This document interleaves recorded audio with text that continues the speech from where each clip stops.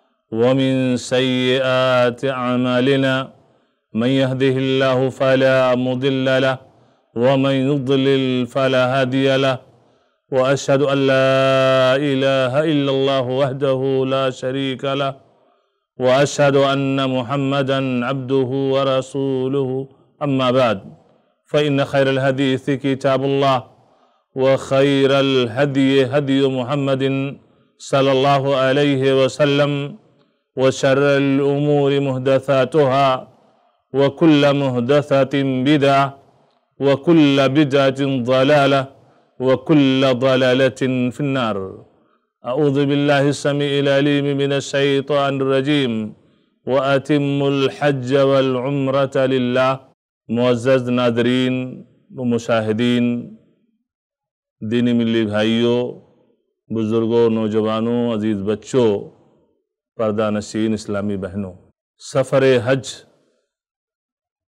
पे लोग रवाना होने वाले हैं। इस मुनासबत से इस बात की और इस चीज़ की ज़रूरत महसूस की गई कि लोगों की सही रहनुमाई कर दी जाए कि जब वो घर से हज की अदायगी के लिए निकल रहे हैं तो उन्हें कैसे निकलना चाहिए, क्या करना चाहिए? सबसे पहली चीज़ ये है कि एक इंसान जो सफ़र हज पे रवाना हो रहा है, उसको चाहिए कि एहराम पहनने से पहले वो अपने नाखून को काट ले, मर्द हों या औरत हों, अपने नाखून को काट लें। इसी तरीके से जिस्म के गैर ज़रूरी जो बाल हैं, ये मर्द व ख़वातीन सब उसको साफ़ कर लें। इसके बाद में ये है कि मर्द व ख़वातीन सब के सब गसल कर लें। गसल करने के बाद में मर्द हजरात अपने जिस्म पर खुशबू इस्तेमाल कर लें, लगा लें। औरतें नहीं, और खुशबू के इस्तेमाल करने के बाद में अब चूँकि जो खवातीन हैं, खवातीन के लिए, एहराम के लिए कोई ख़ास लिबास नहीं है। जो सलवार कमीज या जो भी कपड़ा वो आम तौर से पहनती हैं, वही वो पहन लेंगी और वही उनका एहराम है। एहराम के लिए कोई ख़ास कपड़ा उनके लिए नहीं है। बस ये है कि वो कपड़ा जो पहनती हैं वह यह है कि जाजिब नज़र ना हो, चमक दमक ना हो, उसके अंदर जरी और दूसरी चीज़ों का काम ऐसा ना हो कि जिससे जेब व जीनत ज़ाहिर हो रही हो, नॉर्मल कपड़ा, सलवार कमीज जो भी पहननी हो, नॉर्मल हो, वो लोगों की निगाहों को अट्रैक्ट करने वाला ना हो। जैसा कि आज हमारी बहुत सी बहनें जो कपड़े पहनती हैं, वो नीमुरियाँ होती हैं, कहीं कंधे पे कटा होता है, कहीं बाजू पे कटा होता है, कहीं पैर के पास कटा हुआ होता है। तो इस तरह के लिबास ना हों, लिबास सातिर हों, जिस्म को ढकने वाले हों, इस तरह का लिबास वो पहने, वही उनका एहराम है। एक इंसान जो हज के लिए या उम्र के लिए रवाना होता है तो सफ़र हज पे रवाना होने से पहले इंसान को एहराम पहनना होता है। और असल यह है कि एहराम जब इंसान मीक़ात पे पहुँचे, जैसे हिंदुस्तान से जाने वालों का मीक़ात यलमलम है तो मीक़ात पे पहुँचे तो वहाँ एहराम पहने। लेकिन चूँकि इंसान फ़्लाइट में होता है, फ़्लाइट वहाँ से गुज़रती है और इतने पूरे हाजियों का फ़्लाइट के अंदर एहराम पहनना ये बाईस मशक्क़त है, अफरा तफरी का माहौल होता है। इसलिए इंसान को चाहिए कि अपने घर से या एयरपोर्ट पे जब पहुँचे तो एयरपोर्ट पर प्रेयर हाल में जाकर के एहराम पहन ले। अब यह है कि एहराम इंसान कैसे पहनेगा?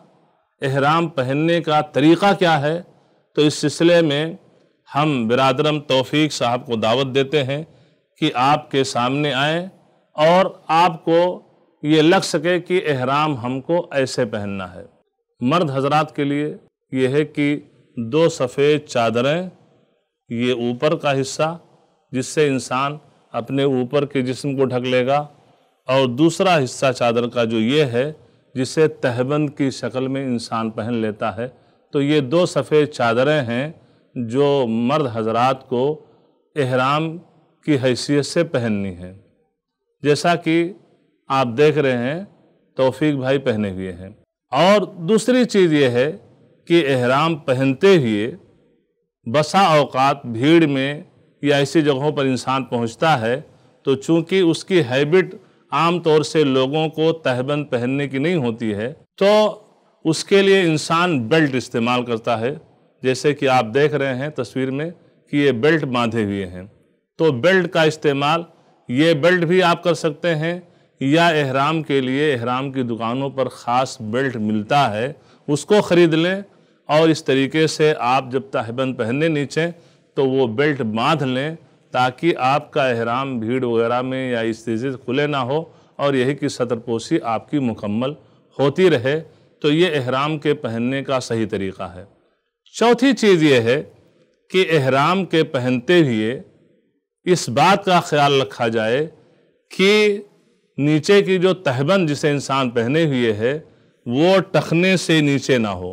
अभी देखिए, ये टखने से नीचे है ये इसलिए बताया गया है कि टखने से नीचे दिखाया जाए और ये बताया जाए कि टखने से नीचे नहीं होना चाहिए, क्योंकि ये कबीरा और बड़े गुनाहों में से है। ये टखने से नीचे आम तौर से लोगों का ये एहराम, ये तहबंद, ये टखने से नीचे होता है और उसकी कोई इंसान परवाह नहीं करता है, जबकि नबी करीम सल्लल्लाहु अलैहि वसल्लम की हदीस में इसको कबीरा और बड़ा गुनाह कहा गया है कि इंसान का कपड़ा, तहबंद, पैंट, जो कुछ हो, ये हर हाल में मर्दों का टखने से ऊपर होना चाहिए। तो जब एहराम आप पहन रहे हैं तो ये तहबंद या टखने से ऊपर हो। टखने से ऊपर करके दिखाएँ। टखने से ऊपर, ये देख रहे हैं, ये अभी एहराम, ये टखने से ऊपर है तो हमेशा एक हाजी का एहराम, ये टखने से ऊपर होना चाहिए। ये एहराम आपने पहन लिया अपने घर से मुंबई एयरपोर्ट से, आपने उम्र की नीयत कर ली ये एहराम ऐसे ही आप पहने रहेंगे, अभी दाहना कंधा आपका नहीं खोलेंगे। हमारे बहुत से भाई दाहना कंधा यहीं से खोल देते हैं। ये गलत है। ये दाहना कंधा जिसे इस्तेबा कहते हैं, ये कब खुलेगा? जब आप तवाफ शुरू करेंगे। आप ये देखिए, ये कंडीशन क्या है? इसको इज्तबा कहा जाता है। और ये दाहिना कंधा कब खोलेंगे? जब आप खाने काबा हरम के अंदर दाखिल हो जाएँगे। हजर असवद आपके बाएँ साइड में होगा। अब आप तवाफ शुरू करने वाले हैं। उस वक्त आप दाहिना कंधा खोलेंगे। तवाफ ख़त्म होने पर दाहिना कंधा आप ढक लेंगे। तो ये एहराम पहनने का नबवी तरीका है, जो आपके सामने पेश किया गया प्रैक्टिकली तौर पर, ताकि आप जब सफ़र हज पे जा रहे हैं, उम्र के लिए जा रहे हैं तो आप सुन्नत रसूल सल्लल्लाहु अलैहि के मुताबिक सुन्नत रसूल की रोशनी में आप एहराम पहन सकें और आप उम्र और हज के अरकान वाजिबात को सुन्नत की रोशनी में अदा कर सकें। आपको ये जहमत दी गई, आप आए और यह है कि एहराम पहनने का तरीक़ा दिखाया गया। जजाकल्ला खैर। अब आप तशरीफ़ ले जा सकते हैं। अभी आपके सामने एहराम पहनने का तरीक़ा प्रैक्टिकली तौर पर बताया गया और पेश किया गया कि आपको एहराम इस तरीके से पहनना है। अब जब आप एहराम पहन लिए, अभी आप एहराम अपने घर से पहने हैं या एयरपोर्ट पे पहुँच के पहने हैं, अभी एहराम की हालत में जो पाबंदियाँ हैं, वो पाबंदियाँ आपके ऊपर लागू नहीं हो रही हैं। जिन्हें ममनुआत एहराम के नाम से जाना जाता है कि एहराम पहनने के बाद में चंद वो पाबंदियाँ हैं जिनकी आपको रियायत करनी है, वो चीज़ें एहराम की हालत में आपसे ना हों। ये पाबंदियाँ कब शुरू होंगी, कब लागू होंगी? जब आपकी फ़्लाइट मीकास से गुज़र रही होगी और हिंदो पाक से जाने वाले लोगों का मीकात क्या है? यह लमलम है। फ़्लाइट में आपको ऐलान किया जाएगा कि जो भी हज उम्रा करने के लिए जाने वाले हैं आपकी फ़्लाइट मीकात से गुज़र रही है अब उम्रे की नीयत कर लीजिए। तो जब आप उम्रे की नीयत करेंगे, कहेंगे लब्बैक उम्रा, या कहेंगे अल्लाह लब्बैक उम्रा। अब मीकात से उम्रे की नीयत करने के बाद, अब एहराम की पाबंदियाँ हर मर्द औरत के ऊपर जो हज के लिए जा रहे हैं, लागू हो गई। उन पाबंदियों की रियायत करनी है जब तक कि एहराम खुल ना जाए और उम्र ख़त्म ना हो जाए। उस वक्त तक एहराम की पाबंदियाँ हैं जिनकी रियायत करनी है। वो पाबंदियाँ क्या हैं? सबसे पहली चीज़ कि जब मीकात से आपने उम्र की नीयत कर ली, हज की नीयत कर ली, अब मर्द व ख़वातीन दोनों लोग अपने नाखून को नहीं काट सकते हैं। अपने सर के बाल या जिस्म के किसी भी हिस्से का बाल मर्द ख़वातीन नहीं काट सकते हैं। औरतें हैं तो औरतें मीकात से उम्र या हज की नीयत करने के बाद अब हाथ में दस्ताने नहीं पहन सकती हैं और ना ही बुरका यानी नोज़ पीस लगा सकती हैं। इसलिए कि नबी करीम सल्लल्लाहु अलैहि वसल्लम फरमाया कि औरत नकाब ना पहने और ना ही दस्ताने पहने। तो ये है कि नोज़ पीस उसमें आँख की जो साख्त बनी हुई होती है तो इस तरीके से वो चीज़ ना पहनी जाए। लेकिन औरत के लिए ज़रूरी है कि अजनबी मर्दों से वो पर्दा करती रहे और अपने चेहरे पर दुपट्टा वगैरह डाले रखे। इसी तरीके से मर्द हजरात जो हैं, उम्र की नीयत मीकात से करने के बाद किसी भी किस्म का सिला हुआ कपड़ा नहीं पहन सकते हैं। अंडरवियर है बनियाइन है पैजामा है, ये सब सिले हुए किसी भी किस्म के कपड़े मर्द हजरात नहीं बन सकते हैं। इसी तरीके से मीकात से उम्र की नीयत करने के बाद मर्द व ख़वातीन दोनों, जब तक कि उम्र कंप्लीट ना हो जाए, एहराम खुल ना जाए, जब तक ये मर्द व ख़वातीन दोनों किसी भी किस्म का खुशबू इस्तेमाल नहीं कर सकते हैं। परफ्यूम, अतर, ये खुशबू इस्तेमाल नहीं कर सकते हैं। मीकात से उम्र की नीयत करने के बाद में मर्द हजरात अपने सर को किसी चीज़ से ढक नहीं सकते हैं, सिर्फ़ मर्द हजरात। आप फ़्लाइट में बैठे हुए हैं, ऊपर से एसी चल रही है या जद्दा एयरपोर्ट पे उतरे, बस में आप बैठे मक्का आप जा रहे हैं, एसी ज़्यादा ठंडा कर रहा है। अब आप चाहें कि आप एहराम से अपने सर को ढक लें, एहराम की हालत में हैं। आप अपने सर को किसी चीज़ से ढक नहीं सकते हैं, ना चादर से, ना टोपी से, ना अमामा से, पगड़ी से, किसी भी चीज़ से अपने सर को आप ढक नहीं सकते हैं। धूप है तो छतरी का इस्तेमाल आप कर सकते हैं धूप से बचने के लिए, लेकिन सर को किसी चीज़ से आप ढक नहीं सकते हैं। उम्र की नीयत करने के बाद में एहराम से उम्र की आपने हज की नीयत की है। जब तक आपका उम्र कंप्लीट नहीं हो जाता है, एहराम खुल नहीं जाता है, जब तक मियाँ बीवी एक दूसरे से हम बिस्तर नहीं हो सकते हैं इंटर कोर्स नहीं कर सकते हैं, जेमा नहीं कर सकते हैं। इसी तरीके से उम्र या हज की मीकात से नियत करने के बाद जब तक एहराम खुल ना जाए, उस वक्त तक खुशकी के जानवर का शिकार नहीं कर सकते हैं। एहराम की पाबंदी में से एक पाबंदी ये भी है कि जब मीकात से हज या उम्र की नीयत कर ली आपने, जब तक आपका उम्र कंप्लीट ना हो जाए, आपका एहराम खुल ना जाए, उस वक्त तक ना तो इंसान खुद अपना निकाह कर सकता है, ना किसी दूसरे का निकाह करवा सकता है। ये चंद पाबंदियाँ हैं, जिन पाबंदियों की एक इंसान को रियायत करनी है, और ये पाबंदी कब शुरू होगी? जब आपकी फ़्लाइट मीकात से गुजर रही होगी, ये कहा जाएगा कि आप हज उम्र की नीयत कर लीजिए। उस वक्त से लेकर जब तक आग का उम्र कंप्लीट ना हो जाए, एहराम खुल ना जाए, उस वक्त तक इन पाबंदियों की आपको रियायत करनी है।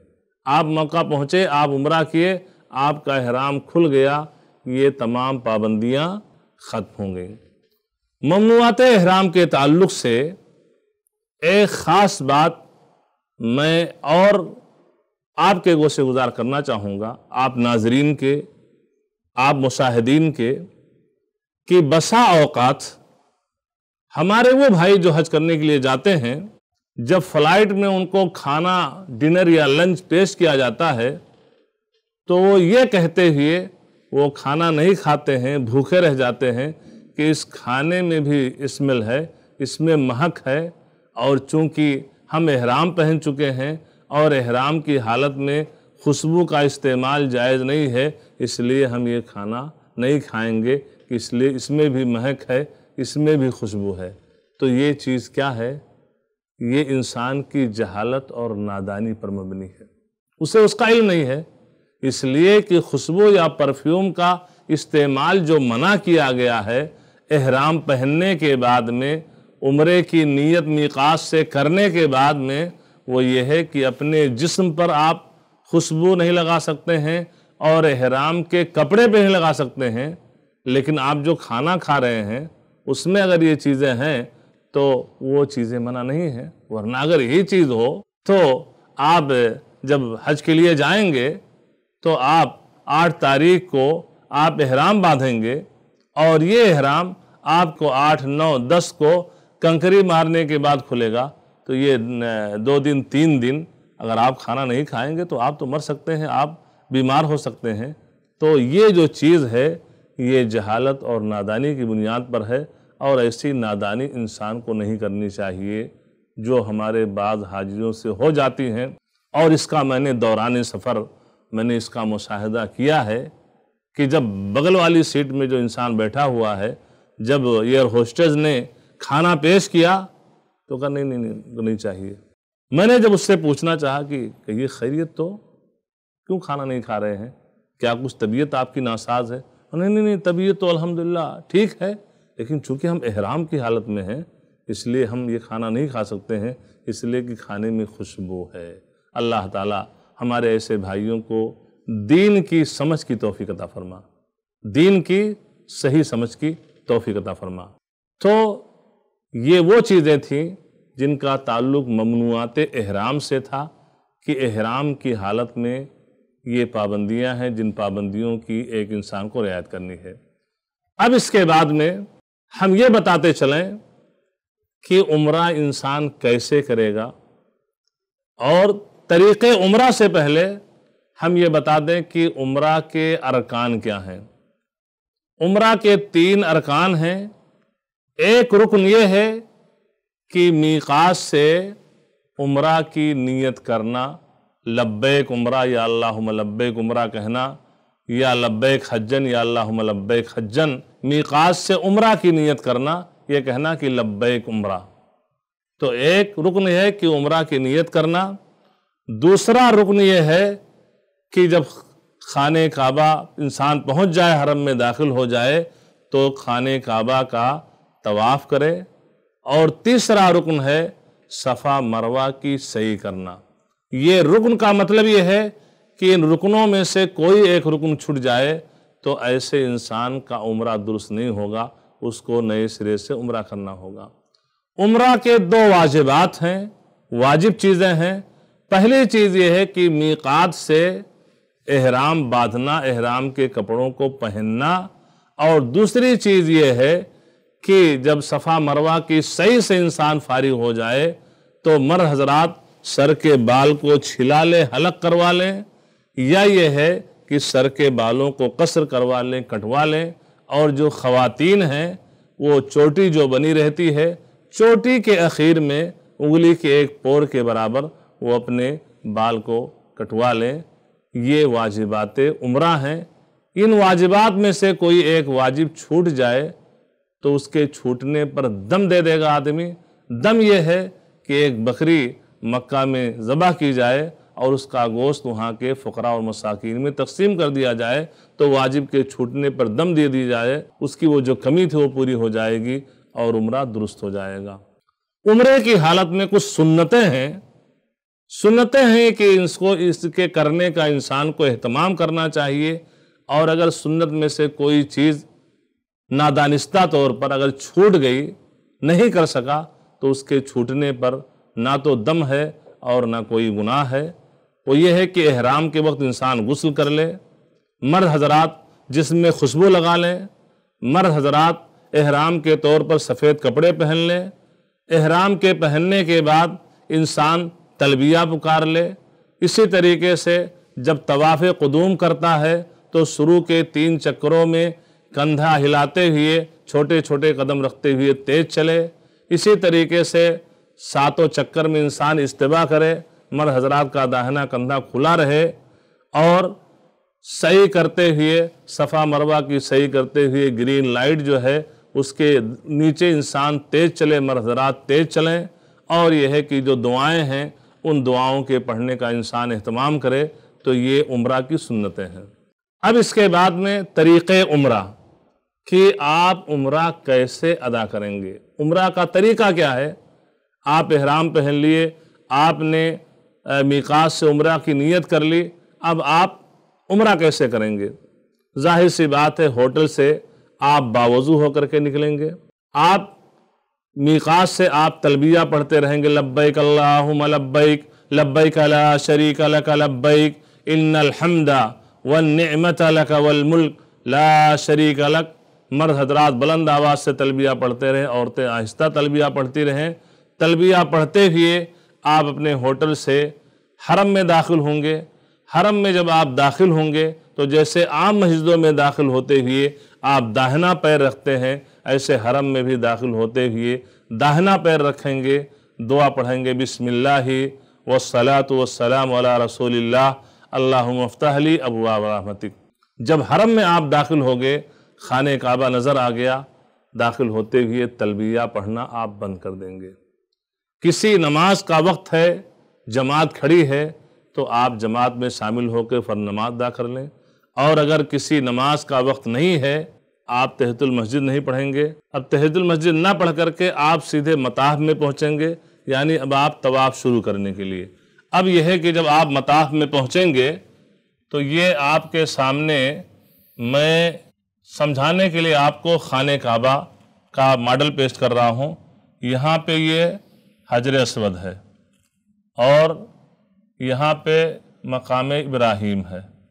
ये कोना जो है, ये रुकन इराकी है। और ये हिस्सा आप ऐसा देखेंगे, ये हतीम का है। और ये कोना जो है, ये रुकन इराकी है और ये रुकन शामी है। और ये रुकन अमानी है। अब आप जब आएँगे, मताफ में दाखिल होंगे, समझ लीजिए कि ये जो एरिया है, ये पूरा, ये ये मताफ का है, यानी तवाफ़ की जगह है, सहन है ये। जब आप दाखिल होंगे, आप पहुँचेंगे, यहाँ पर ये हजर असवद है, यहाँ सब है, अब यहाँ पे आप खड़े होंगे, चूँकि भीड़ रहती है, लेफ़्ट साइड में हजर असवद है, राइट साइड में आप दीवार पे देखेंगे, यहाँ ग्रीन ट्यूब लाइट लगी हुई है। मर्द हजरात जब यहाँ पहुँचेंगे, हजर असवद से तवाफ़ शुरू होगा। मर्द हजरात अब यहाँ पहुँच करके दाहिने कंधे को खोल लेंगे। जैसा कि पहले बताया गया था कि चादर जो है दाहिने कंधे के नीचे से निकाल के बाएँ कंधे पे डाल लेंगे, जिसको इस्तबा कहते हैं, और ये दाहिना कंधा मर्द हजरात का सातों चक्कर में ये खुला रहेगा। शुरू के तीन चक्करों में हजर असवद से तवाफ शुरू होगा और हजर असवद पर पहुँच करके एक चक्कर पूरा होगा। तो शुरू के तीन चक्रों में मर्द हजरात जो हैं, वो दुलकी चाल चलेंगे, जिसको रमल कहा जाता है। रमल ये है कि कंधा हिलाते हुए और ये कंडीशन होगी चलने की, कंधा हिलाते हुए और छोटे छोटे कदम रख के तेज चला जाए। इसको रमल कहा जाता है। ये शुरू के तीन चक्रों में होगा। यहाँ से तवाफ शुरू करेंगे। आप इशारा करते हुए बिस्मिल्लाह अल्लाह अकबर। एक बार, बिस्मिल्लाह अल्लाह अकबर। हाथ को चूमना नहीं है। बिस्मिल्लाह, अल्लाह अकबर कहने के बाद तवाफ शुरू कर दिए। तवाफ यहाँ से आप शुरू किए हजर असवद से। अब हजर असवद से ले करके आप यहाँ तक आएँगे। इस बीच में रुकन अमानी तक कोई ख़ास दुआ नहीं है। कोई ख़ास दुआ नहीं है। आप ज़िक्र असकार कीजिए, तलावत कुरान कीजिए। जो मसनून दुआएँ आपको याद हैं वो पढ़िए। अपने लिए, अपने अज्जा व के लिए जो भी खैर की दुआएँ करना हो आप कीजिए। कोई ख़ास दुआ हजर असवद से लेकर के रुकन अमानी तक नहीं है। रुकन अमानी जब पहुँचेंगे तो रुकन अमानी का इस्तेलाम भी सुन्नत है कि आप इसको छू लें। भीड़ भाड़ नहीं है तो इसको आप हाथों से छू लें, लेकिन हाथ को चूमेंगे नहीं।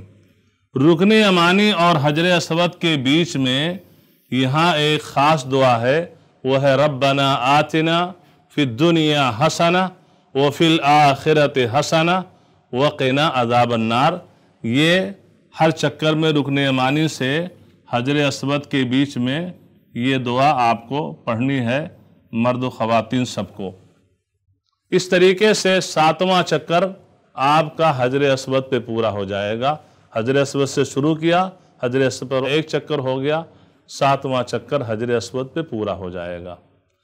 अब हजर असवद पे सातवां चक्कर पूरा हो गया। मर्द हजरात का दाहिना कंधा जो खुला हुआ था, वो दाहिना कंधा अब ढक लें। और इसके बाद में मकाम इब्राहिम जो मैंने बताया, यहाँ दो रकात तवाफ़ की नफल पढ़नी है। लेकिन चूँकि जब भीड़ भाड़ हो कि वहाँ रुकू सजदा करना मुश्किल हो तो हरम के जहाँ कहीं किसी जगह खाली जगह मिल जाए, वहाँ आप जा करके तवाफ़ की दो रकात नमाज़ पढ़ लीजिए, यहाँ पढ़ने की कोशिश ना करें, क्योंकि आपका ना सही से रुकू होगा, ना सजदा होगा, और तवाफ़ करने वालों को परेशानी होगी। तो ये है कि आपने दो रकात जहाँ कहीं खाली जगह मिली, आपने तवाफ़ की दो रकात नफल पढ़ ली। पहली रकात में सूर फातिहा के बाद कुलिया अयुहल काफिरून और दूसरी रकात में सूर फातिहा के बाद सूर अखलास अल्लाहद पढ़ना, ये मसनून और मुस्तहब है। किसी को ये दो सूरतें नहीं, कोई तीसरी चौथी सूरत याद है तो वो भी पढ़ सकता है। अब जब आपने तवाफ़ की दो रकात नफल पढ़ ली, अब आपके लिए जायज़ है कि आप जाइए, जमजम पीजिए, जमजम नोश फरमाइए, अपने सर वगैरह पे भी डाल लीजिए। अब उसके बाद में आप यहाँ से निकलेंगे सफ़ा मरवा के लिए, सही के लिए जाएँगे। तवाफ़ आपका कंप्लीट हो गया। अब आप सफ़ा मरवा की सही के लिए जाएँगे। और एक बात ये बताते चलूँ कि तवाफ़ के लिए इंसान को बावजू होना ज़रूरी है। फ़र्क ये है कि नमाज़ के लिए भी बावजू होना ज़रूरी है, तवाफ़ के लिए भी, लेकिन नमाज़ में गुफ्तगु, बातचीत खाना पीना तकबीर तहरीमा कहने के बाद में सलाम फेरने तो ये चीज़ें हराम हैं। लेकिन तवाफ़ करते हुए आप खा भी सकते हैं, पी भी सकते हैं, बातचीत भी कर सकते हैं, चीज़ें जायज़ हैं, लेकिन तवाफ़ के लिए बावजू होना ज़रूरी है। दो रकात आपने नफल पढ़ ली। अब यह है कि अगर वज़ू टूट गया तो सफ़ा मरवा की सही के लिए वज़ू नहीं है, बगैर वज़ू के आप सफ़ा मरवा की सही कर सकते हैं। तो अभी तक आपने तवाफ़ और तवाफ़ कैसे किया जाए, तवाफ़ का तरीक़ा क्या है ये चीज़ें आपके सामने पेश की गई। इसी पर हम इतफ़ा करते हैं और आगे नेक्स्ट जो एपिसोड है, उसमें हम बताएँगे कि सफ़ा मरवा की सही कैसे की जाए, सफ़ा मरवा की सही करने का तरीक़ा क्या है, वो चीज़ें आगे एपिसोड में इंशाल्लाह हम आपके सामने बयान करेंगे। जब तक के लिए हम आपसे इजाज़त चाहते हैं। अल्लाम वरहमल वर्क दुनिया में अमन को आम करने की इस कोशिश में हमारा साथ दें। आई प्लस टीवी को डोनेट करने के लिए अभी कॉल करें। Nine five double eight double eight double eight two six पर।